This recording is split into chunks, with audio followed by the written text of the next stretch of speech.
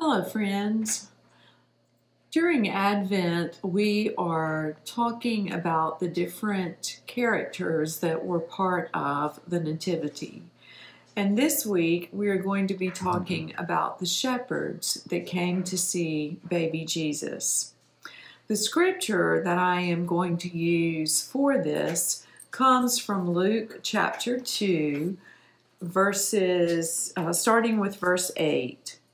And there were shepherds living out in the fields nearby, keeping watch over their flocks at night. An angel of the Lord appeared to them, and the glory of the Lord shone around them, and they were very afraid.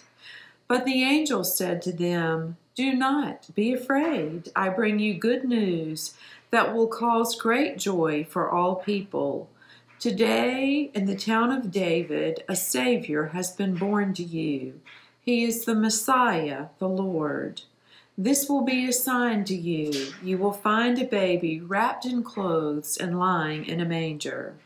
Suddenly, a great company of the heavenly host appeared with the angel, praising God and saying, Glory to God in the highest, and on earth peace to those on whom his favor rests.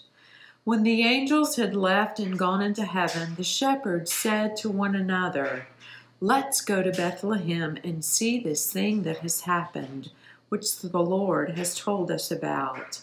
So they hurried off and found Mary and Joseph and the baby lying in the manger.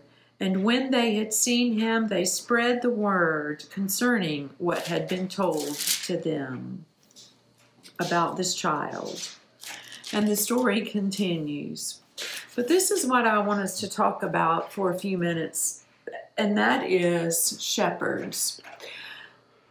Um, shepherds have a very difficult job. They have to keep their sheep in a certain area of grass. And when that grass is no longer in the field, the shepherds have to guide their sheep to another area.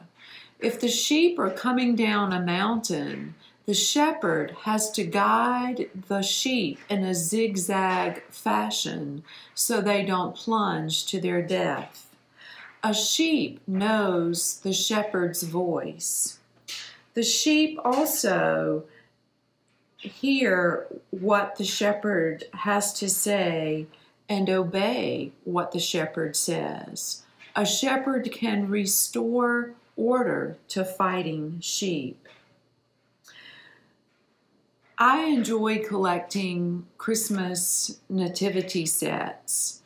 And as I was preparing for this morning, I started looking at my nativity sets and realizing that most of the ones that I have there are plenty of wise men and kings that are depicted in the um, nativities, and there is usually a sheep, but not as often as we see the kings and the wise men.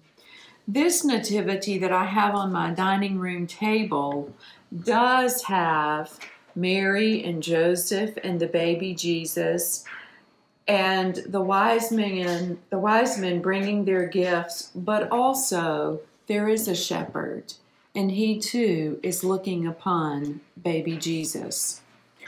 The thing that strikes me about shepherds being included in the nativity is that Jesus includes a shepherd and sheep as part of the group of people to come and to worship and to see baby Jesus.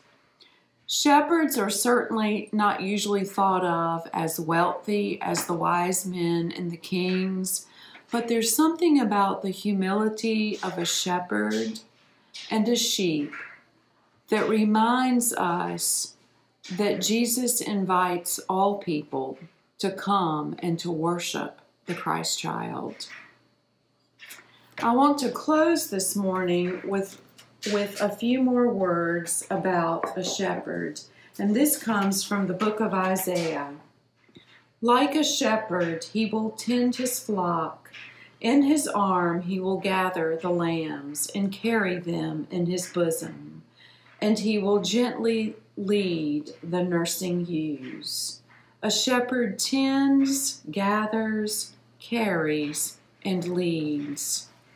Just as we have a humble servant and a shepherd who comes to worship the Christ child, each of us in our special way, whatever our shape or size, whatever our standing in life, we too come to worship the Christ child.